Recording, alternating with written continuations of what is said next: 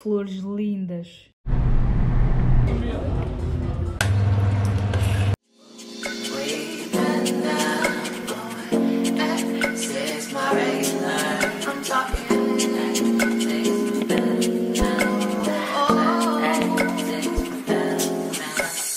Olá, sejam todos muito bem-vindos ao mais um vlog aqui no canal.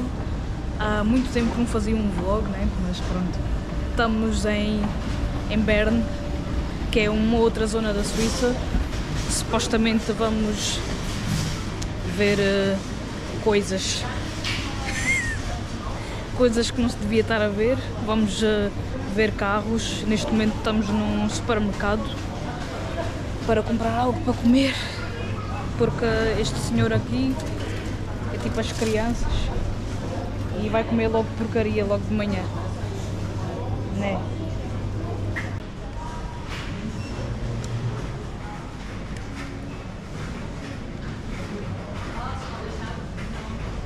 Bem-vindos à Suíça.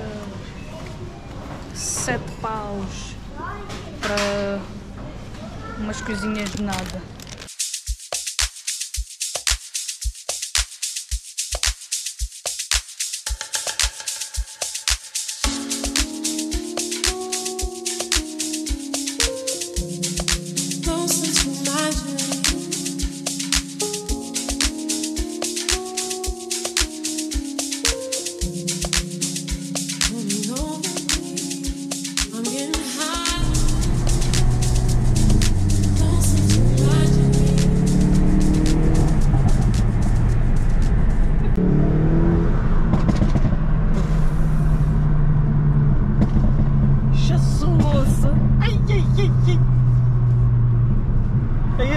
Este que eu quero! Jesus!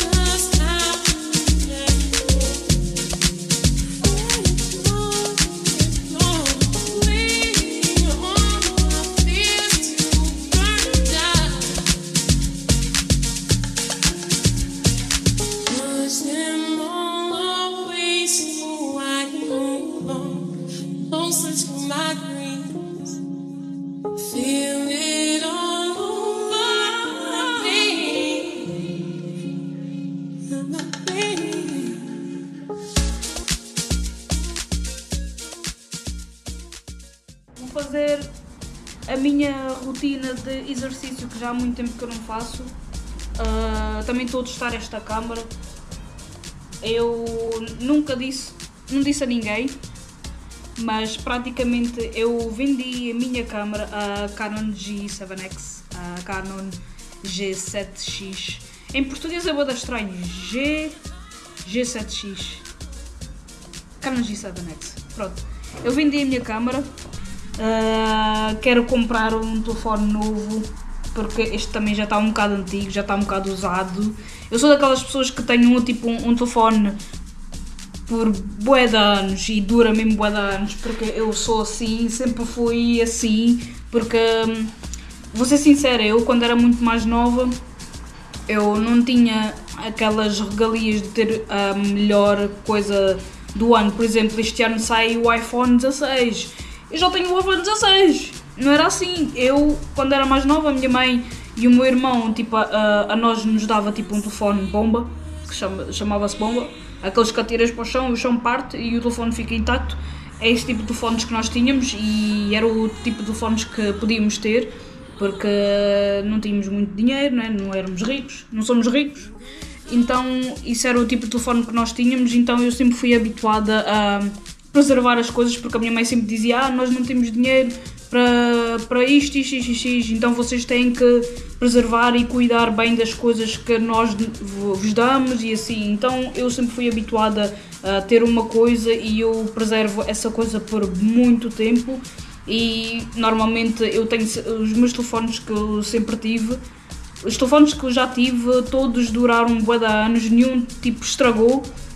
Eu simplesmente pronto fui crescendo eh, comecei a ter mais dinheiro para comprar essas coisas não é então eu simplesmente quando eu mudo de telefone ou mudo alguma coisa é porque eu preciso mesmo de mudar porque não significa que a outra peça estragou.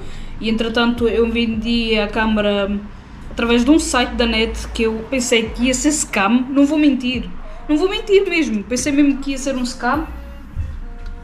Mas acabou por não ser um scam, porque eu estava a ver os reviews e assim na net e muita gente dizia que, que, que venderam equipamentos de câmara bué da caros e eles pagaram e não sei o quê. Vocês sabem aquela, aquela, aquela fase que vocês querem vender um eletrónico, tipo um telefone, uma câmara ou seja lá o que vocês tiverem eletrónico para vender e não conseguem porque põem no marketplace do Facebook, põem na net para ver se, se alguém conhece alguém para, para comprar e não consegues vender, ficas da tempo a tentar vender aquilo e nunca consegues vender.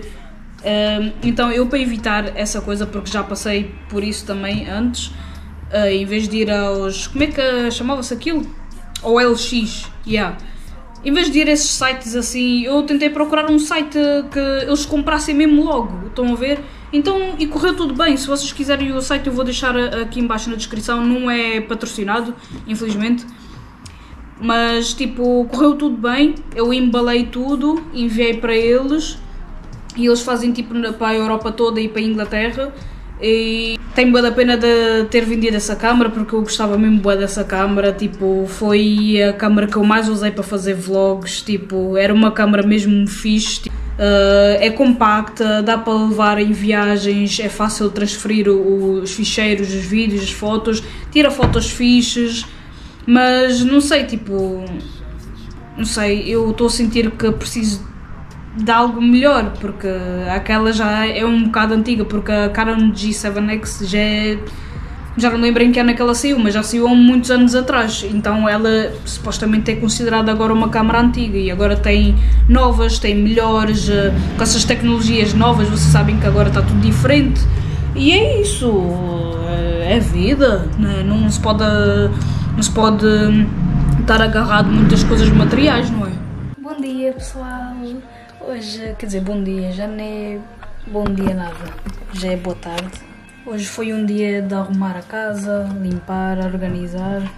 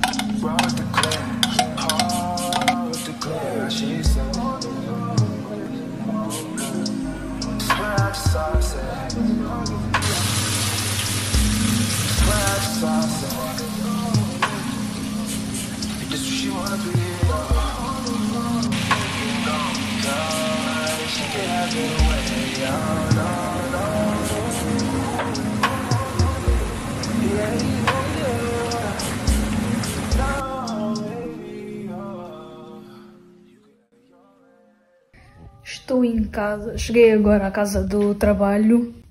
Eu vou mudar de trabalho e entretanto esta semana é a última semana que estou neste trabalho. Então foi praticamente a semana de despedida aos clientes que eu atendo e muitos ficaram muito tristes por me ver eh, ir embora, né? Mas eh, eles desejam tudo de bom para mim, não é? São bué da simpáticos, por acaso os clientes que eu atendo são bué da fixe, entretanto tem uns em específico que, que me ofereceram estas flores, tem umas rosas, tem uma orquídea e não sei o que, muito giro, e também me deixaram uma caixa de chocolates, suíços, porque são muito bons e por acaso nunca, nunca comi destes que estão aqui na caixa. E vou fazer. uh, Depois vou fazer tipo um, um vídeo de degustação de snacks assim suíços. Por isso, se és novo aqui, subscreve para ver esse tipo de vídeos, porque depois vou fazer vídeos de testar produtos, comer snacks e coisas assim. Num vasinho com flores. Ei, nada. Aqui me gostam, já. Poça! Essa caixinha de chocolates, este bilhetinho, espera. Que eu vou tapar aqui o nome deles. Disseram Merci beaucoup pour votre travail et bonne continuation à vous. Depois assinaram família o nome deles e com uma florzinha aí, poça, nada. Eu só queria mesmo partilhar convosco isso porque é uma coisa, é, como eu digo, é uma jornada, uma nova jornada que eu vou começar, não é? Com este novo trabalho e também é para demonstrar como eu fico feliz quando as pessoas me veem como eu. Porque esses clientes já não é a primeira vez que me oferecem coisas e tenho outros clientes também já me ofereceram ah, chocolates e coisas assim, prendas de, de Natal e coisas, sei lá, gorjetas. Já me deram assim várias coisinhas, estão a ver, e fico feliz porque essas pessoas realmente Uh, gostaram de mim como eu e não só por causa do meu trabalho. E muitos deles realmente demonstraram isso e falaram, disseram gosto muito do teu trabalho, espero que continues assim e que tenhas um grande futuro porque esse trabalho que eu estava a trabalhar e o que eu vou fazer agora não são coisas que eu adoro fazer. Uh, são trabalhos que é, é tipo aqueles tipo de trabalho que tu acordas e sabes tipo, ah, vou, vou trabalhar que é para pagar contas. Não é que eu trabalho e vou trabalhar porque eu adoro este tipo de trabalho e acima disso ainda vou conseguir pagar as contas, vou conseguir fazer isto, isto, isto. Não é aquele tipo de trabalho, já adoro, mas tipo, é o que há. Porque aqui na Suíça é muito, muito difícil conseguir trabalho, especialmente na minha área, que é a área, de design e artes. Uh, então, fico, fico feliz porque ao mesmo tempo fico triste porque não vou vê-los mais, porque eu vou passar mais tempo agora no outro trabalho num sítio só, porque este trabalho que eu estava a fazer eu ficava em vários sítios. E não vou ver mais essas pessoas porque eu realmente também criei aquele, aquela relação, tipo, não é só de, de com clientes, mas tipo aquela relação, tipo, tenho um certo carinho com essas pessoas porque também muitos deles eram pessoas tipo mais velhas. Não sei porquê, mas eu dou-me sempre bem com pessoas idosas e muitos deles não eram idosos, né? Mas a maioria eram idosos e eu criei aquele certo carinho com eles, eles também criaram esse certo carinho comigo. Eu fico mesmo muito feliz, muito feliz mesmo quando as pessoas falam essas coisas eh, e consigo perceber que realmente não sou aquele tipo de pessoa que eu tinha uma ideia, uh, porque é aquela coisa que vocês pensam, ah, eu sou assim, não sei quem é que vai gostar de mim assim, há pessoas que vão gostar, há pessoas que não vão gostar, e eu estou bem com isso, estou bem com. Gostas, não gostas? Gostas, gostas, mas aquela coisa de.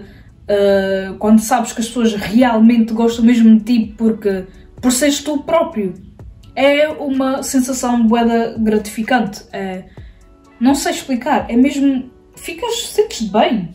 E era isso, só queria partilhar isso convosco porque vocês estão aqui no canal, né? Estou aqui para partilhar um, uh, bocados da minha vida, minhas experiências de vida. Depois vou fazer um vídeo a falar da minha experiência a morar aqui na Suíça, porque já estou aqui um ano e tal, quase dois anos. Uh, então é isso. Se és novo por aqui, já estás a ver, eu sou assim. Vai ver outros vídeos, vais ver que eu sou assim. Às vezes sou um bocado estúpida, às vezes sou um bocado engraçada, não sei se posso dizer que sou engraçada, mas assim começas a conhecer-te, a, a, a conhecer-te, a conhecer-me mais e as pessoas que me acompanham há muito tempo sabem que eu sou assim. E é isso, é vida, é vida, malta, é vida, vida de adulto, shit! Tá-me a dar porradas. Oh, malta, eu comprei um carregador para o meu computador. Sei que muitos já devem estar a pensar, poça, mas tu falaste que ias comprar um carregador do teu computador já desde o início do ano, já estamos quase ao final do ano. Yeah, e só agora é que comprei o carregador porque já há muito tempo que não uso o meu computador. E estava naquela, ah, será que é do computador mesmo, do receptor de energia do computador ou é mesmo do carregador que está estragado? E agora é o momento da verdade. Uh, tenho aqui o, o- este carregador que é um, não é o original, mas pronto, este dá. Veio com este que é coisa europeu e também veio com o suíço. Eu já liguei ali à ficha, tem muita confusão aí, não liguem. E agora é o, o momento da verdade. Ou seja, tem aqui, hum, ele costuma acender aqui umas luzes quando está ligado, isto é quando está a carregar, isto não sei o que é. Se está a acender é porque fizemos um bom trabalho. Quer dizer que escolhi bem o carregador e está a funcionar. Oh.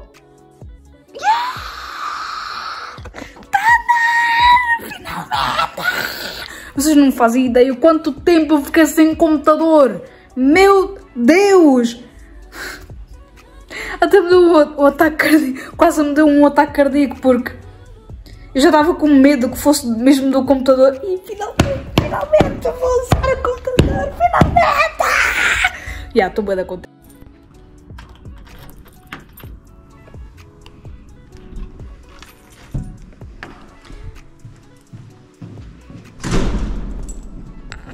Bom dia, boa tarde a todos.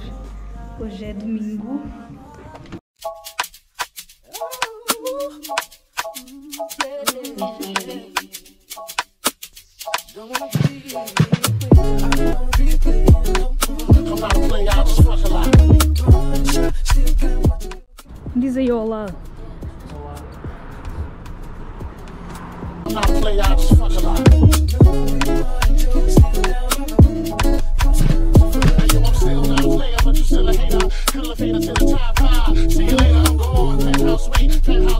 Olha,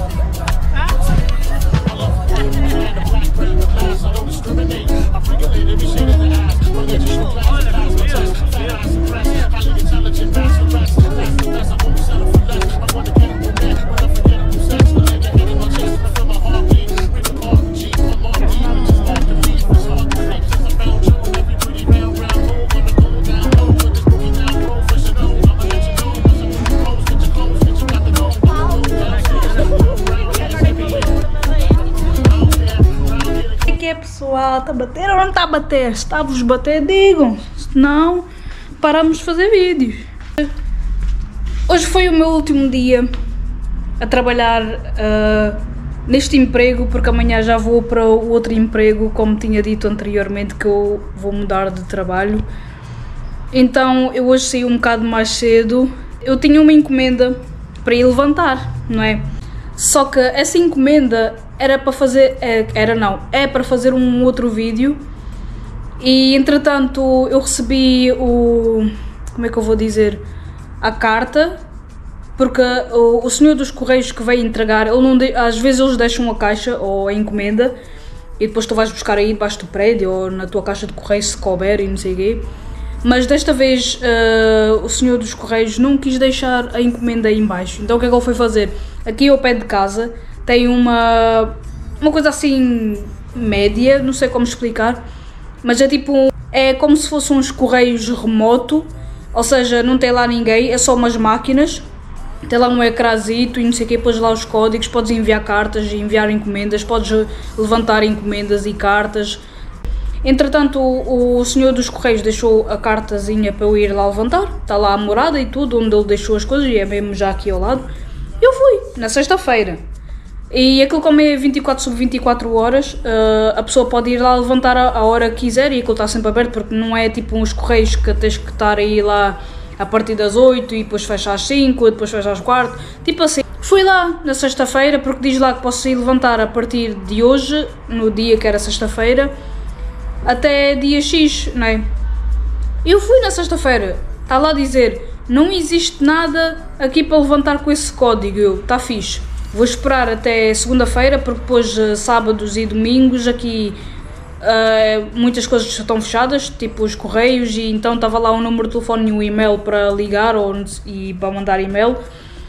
Só que se- eu mandasse aquel, aquel- na sexta-feira àquela hora, eles só me iriam responder na segunda-feira que é hoje. Então o que é que eu fiz? Esperei, né? E vim e fui lá hoje, há pouco tempo, quando cheguei a casa. Fui lá hoje, meti lá o código outra vez e estava a dizer: não há nenhuma encomenda para levantar aqui. E eu fiquei tipo: não, isto não pode, é impossível. Como é que me dão um cartão para ir levantar uma encomenda e a encomenda não está no sítio onde me disseram para ir levantar? Olha, uma confusão, uma confusão. E depois eu, eu decidi ligar ao, número de telefone, estava lá a dizer. Liguei.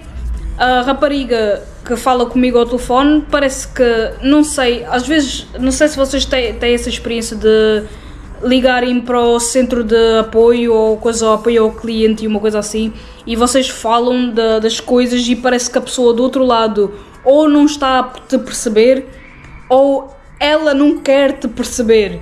E eu estava assim, tipo, eu estou a explicar especificamente o que está-se a passar e a mulher está sempre a me dizer que ela estava praticamente a me perguntar: Ah, desculpa, ah, mas qual é a sua pergunta mesmo? E ficava tipo: Mulher, eu estou aqui, já vim aqui sexta-feira para levantar uma encomenda e está a dizer que o código não dá e está a dizer que não tem nenhuma encomenda aqui para levantar com esse código. E ela, ah, mas qual é o tracking number? Qual é o tracking number? E disse, senhora, eu estou aqui com o cartão na mão, que o senhor dos Correios me deixou, para ir levantar a encomenda, que ele já me deixou na sexta-feira, eu fui na sexta-feira, não deu, fui hoje tentar, podia ter sido um erro ou uma coisa assim qualquer, né? Fui hoje tentar, não está a dar, daí eu ter ligado assim. E não entendo como é que me dão um número para levantar uma coisa no- nos Correios, ou no coisa 24 sobre 24, mas diz lá que não existe nada com este código. Ela, ah, não posso ajudar. Não posso ajudar, se não tiver tracking number, não posso ajudar. Normalmente, quando você faz uma encomenda, eles mandam o, o, o tracking number, que é o número de res- restra- rastreio. Sei lá como é que se diz em português, me desculpem lá, mas. Yeah. Eu disse, senhora, eu já fui na net, já fui no e-mail, já fui no site onde eu fiz a encomenda, não está lá nenhum tracking number. O único número que eu tenho aqui é este que eu dei assim. E ela estava a me dizer, ah, mas eu tentei esse número e diz que aqui não existe nada. Eu disse, senhora, eu já fui na net também, com esse código, e diz a mesma coisa. Diz que não existe nada com esse código.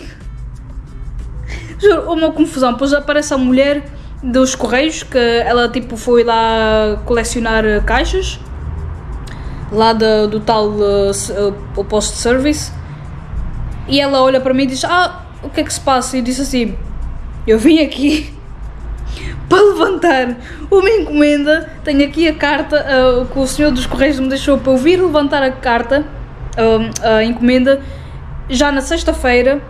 Porque ela estava ela estava já a olhar para o relógio, porque aquilo diz lá a partir, de, eh, a partir das 5. Que aquilo, como é 24 sobre 24, diz: podes, podes ir levantar a tua encomenda a partir de hoje, mas tem que ser a partir das, de- das 17. E ela estava a olhar para o relógio e não, nem eram 17, né? Nem 16, eram tipo 15 e meia, para aí, ou nem isso. E ela olha para o relógio e disse assim: Não vale a pena olhar para o relógio porque eu recebi isto na sexta. E ela, ah, ah, já experimentaste pôr aí o código que é e olhar para ela e do tipo. Eu Depois de já lhe ter dito, eu recebi isso na sexta, vim aqui na sexta experimentar, vim no sábado, vim hoje e está-me a dar a mesma coisa. E a mulher. E eu, à frente dela, passei o QR Code e aquele diz: Não existe nenhuma encomenda com esse código para vir cá levantar. Por favor, mande e-mail para este e-mail ou ligue para este número. Ela, ah, tem que ligar para este número. Eu estava assim, ao telefone com a outra rapariga do apoio ao cliente, eu estava assim. E ela a apontar, ah, liga para este número, e eu assim. Estou a falar com, a- com o apoio ao cliente, literalmente. Tipo, e ela, ah, tá bem, não posso ajudar então. E eu, tá fixe. A outra também do telefone. Sempre a me dizer, ah, não posso ajudar, não posso ajudar, não posso ajudar, não posso ajudar sem o, o tracking number. O tracking Olha, eu estava já a desistir, eu estava já quase a vir para casa, que é, é mesmo, é tipo 5 minutos a pé. Eu já estava tipo assim a sair do tal sítio. Quando eu estou a sair, ela está a dizer: Ah, não posso ajudar assim, eu não estou a perceber o que é que você quer que eu faça. Eu disse: Eu só quero saber onde é que está o raio de encomenda, porque está-me a dizer que está está aqui, mas não está a dar para levantar, porque diz que não existe. Opa, uma confusão que podia ter resolvido tipo assim bem rápido. Depois, imaginem, eu já estava a voltar e depois ela, ela para, porque ela está sempre a me dizer a mesma coisa. E eu disse assim: Ouça-me, senhora, se faz favor, eu vim aqui para levantar uma encomenda. Está aqui o número de QR Code e está o número para pôr tipo manualmente, caso o QR Code não dê ou a pessoa não consiga usar, né? Eu fiz isso tudo. Está-me a dizer que não existe nenhuma encomenda aqui neste local onde eu estou, onde está aqui a morada de onde é para levantar. Diz que não tem nada aqui para levantar com esse número. E eu quero saber onde é que está a encomenda que eu encomendei. Se está mesmo aqui neste local, porque eu estou no local certo, eu estou com o número na mão, estou com o cartão na mão. Eu só quero saber onde é está a encomenda, porque eu tenho que ir buscar a encomenda. Estragou-me os planos todos, porque essa encomenda eh, foi especificamente para fazer um vídeo e esse vídeo era para filmar durante o fim de semana porque eu só tenho mais tempo durante o fim de semana para filmar Eh, durante a semana eu estou a trabalhar não tenho tempo assim para estar a filmar só se eu sair cedo do, do trabalho não é mas geralmente não tenho tempo geralmente eu para filmar tenho que ser durante o fim de semana Opa, uma confusão. Depois eu já estava tipo a meio caminho e a mulher pergunta: Ah, qual é o seu nome? Qual é o nome que está na encomenda? E eu: Está a gozar comigo? Só pode. Este tempo todo, este tempo todo, o que ela podia ter. E depois eu disse o nome, né? Ela me pergunta qual é o, o código postal do local onde é que foi enviada a encomenda. E eu disse o código postal. Ela, ah, está aqui, encontrei, mas o número que você tem do, do tracking number está errado. Eu, ah, tá bem. E lá voltei, né? Ela disse, ah, o número correto é este. Depois ela dita, né? E eu aponto no telefone, né?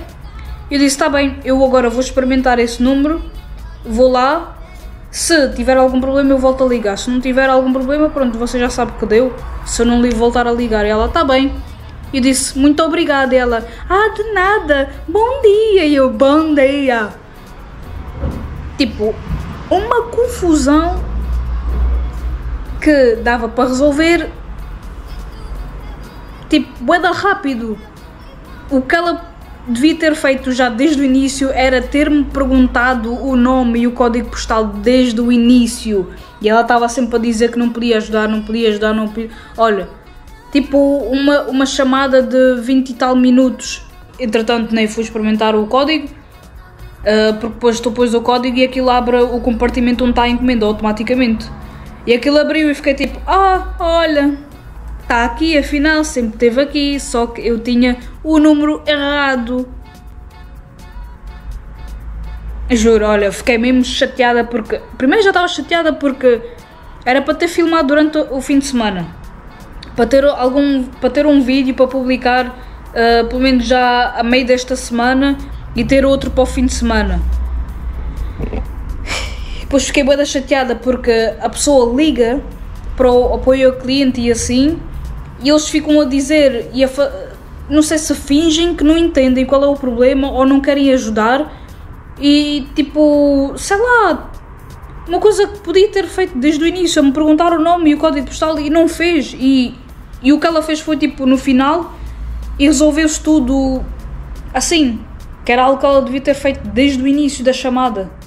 Não sei se isso já, já vos aconteceu, mas a mim, tipo, também nunca me tinha acontecido uma coisa assim, mas já me aconteceu várias eh, vezes, eh, assim, ligar para apoio ao cliente de outras coisas e eu ter ficado do tipo, meu, uma coisa tão simples de resolver e eles estão, tipo, a, sei lá, tipo, estão a criar um, um bicho de sete cabeças só para resolver uma coisa e depois no final da chamada já houve vezes que fiquei, tipo, quase uma hora em chamada e o, a, a cena, o que eu tinha a tratar só ficou resolvido depois, quase no final da chamada, que era uma coisa tão simples. Quando eu ligo para o apoio ao cliente, seja de outra coisa ou uma coisa qualquer, as pessoas me perguntam sempre qual é o seu nome. Porque através do nome eles conseguem logo encontrar quem tu és ou o que é que estás à procura ou conseguem encontrar. E a mulher não me perguntou isso desde o início. Eu fiquei tipo, bro, oh meu Deus, juro, oh, essas coisas me tiram do sério, sério. Eu sou uma pessoa bem calma, mas há certas coisas mesmo, não sei se as pessoas fazem de propósito, não sei se as pessoas são mesmo assim no trabalho. Porque eu sou uma pessoa, quando estou a trabalhar, eu sou uma pessoa muito honesta. Se não sei fazer algo, eu pergunto, não fico a fingir que sei. E há, pois, essa gente que está aí a trabalhar, tipo, sei lá, tipo, só para ganhar o dinheiro no final do mês, mas estão-se a cagar. Juro, oh, uh,